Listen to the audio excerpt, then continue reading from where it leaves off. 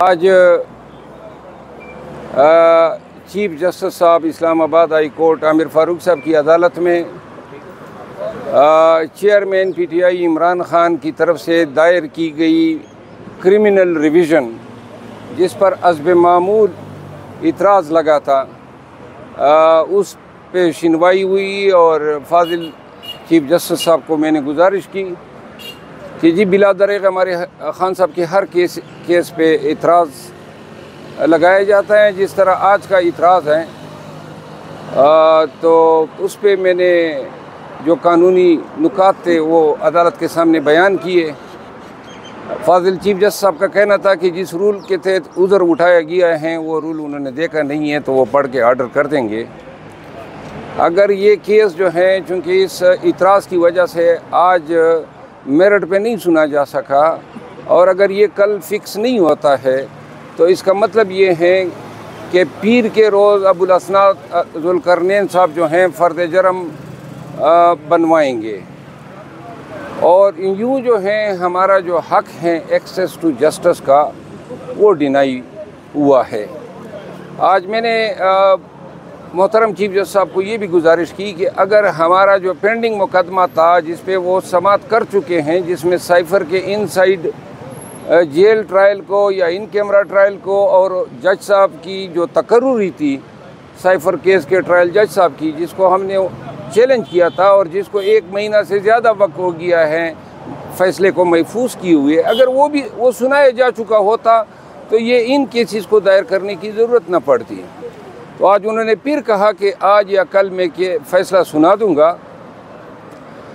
ये बहरहाल ये तमाम गुजारिशात का ख़ुलासा ये है कि अदालत में जब जाते हैं तो हमारे मुकदमे तबालत का शिकार हो जाते हैं।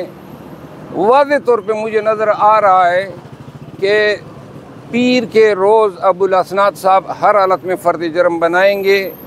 और ये जो हमारी कोशिशें हैं, जो हमारे कानूनी हकूक़ हैं, जिनके तहत उन प्रोसीडिंग को मैंने चैलेंज किया था, नौ तारीख, नौ अक्टूबर की प्रोसीडिंग को, जिसमें जज साहब से हमने नकुलात लेने से इनकार किया था।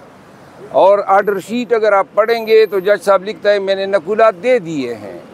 ये आर्डर शीट जो है, इसको एक सेंटिटी एक तकदस हासिल होता है इसमें कभी गलत बयानी नहीं लिखी जाती हैं, लेकिन फाजिल फाजिल जज साहब जो हैं, उन्होंने इसमें इरतकब गलत बयानी किया है कि मैंने नकूल दे दिए, हमने कभी नकूल उनसे वासिल नहीं किए हैं।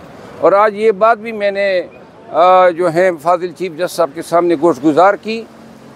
तो बेसिकली हम हम, बेसिकली हमारी अक्ल ही माऊफ होती जा रही है कि क्यों कर ये इस तरह किया जा रहा है।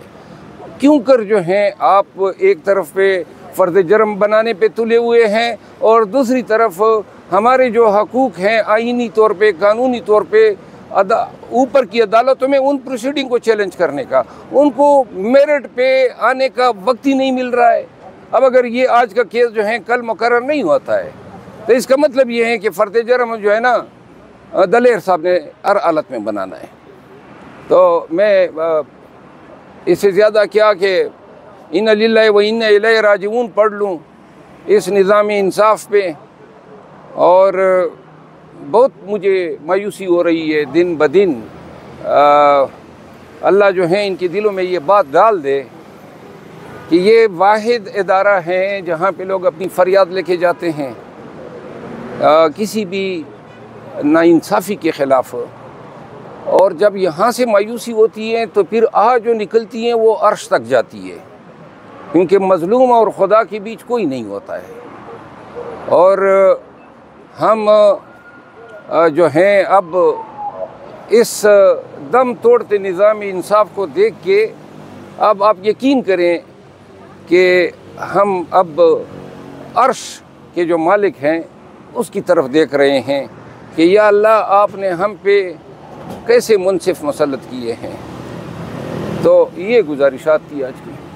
अच्छा सर कल का जो फैसला आया है सुप्रीम कोर्ट का प्रैक्टिस प्रोसीजर बिल वाला उसके बाद नवाज़ शरीफ का क्या रास्ता साफ़ होता हुआ दिख रहा है या नवाज़ शरीफ इसके बाद वतन वापस आएँगे? उस कल के फैसले के ऊपर कुछ कल का जो फैसला है ये मुद्दत तो जो है इस पर लिखा भी जाएगा इस पर डिबेट्स भी होंगी और कल के फैसले ने एक दफ़ा फिर जो है ये अयादा करा दिया है कि सुप्रीम कोर्ट अभी तक मुनकसिम है। पंद्रह हनरेबल जज साहिबान में से पुराने मुकदमात पे राइट ऑफ़ अपील न देने का मेजॉरिटी का फैसला आठ जज साहिबान का है, इख्तलाफ में सात जज साहिबान हैं। तो सुप्रीम कोर्ट के लेवल पे इतना बड़ा इख्तलाफ जो है, ये बहुत मानी रखता है। फिर जो है इससे ये भी वादे हो रहा है कि कौन से जज साहब का क्या बेंट ऑफ़ माइंड है? नवाज़ शरीफ जो हैं, वो, ये जो फैसला है, ज़ाती तौर पे मैं समझता हूँ, गर्चे, इसके पीछे इंटेंशन ठीक है।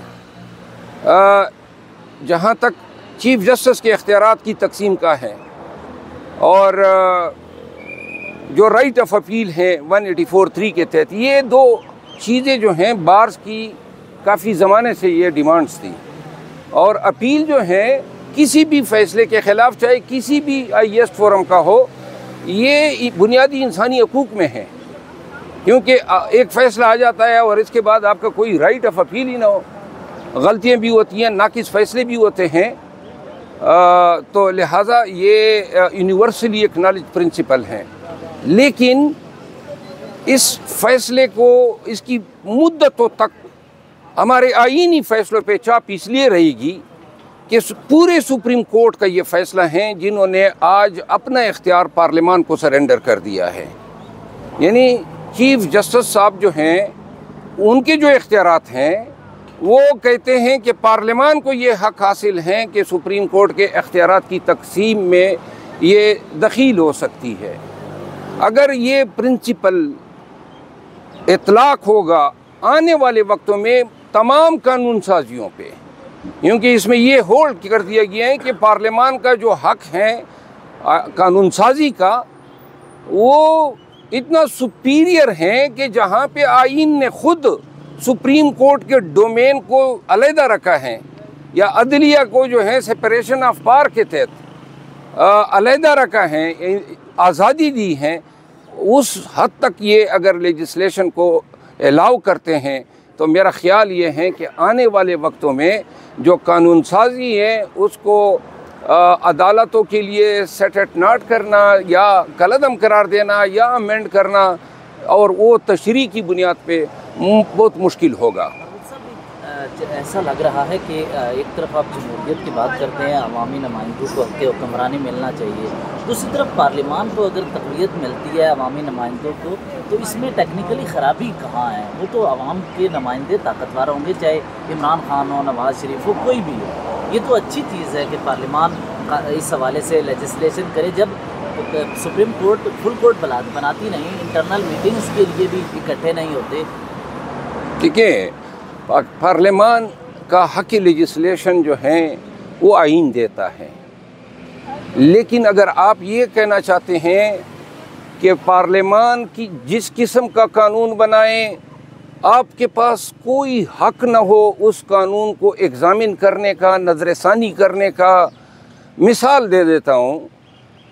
ये जो अभी official secret act last time जो तनाज़ा भी बना और जो मिलिट्री एक्ट में जो तरमीमत की गई कि आपके घर में बग़ैर वारंट के कोई घुस सकता है, ये इस पार्लियामान ने कानून बनाया।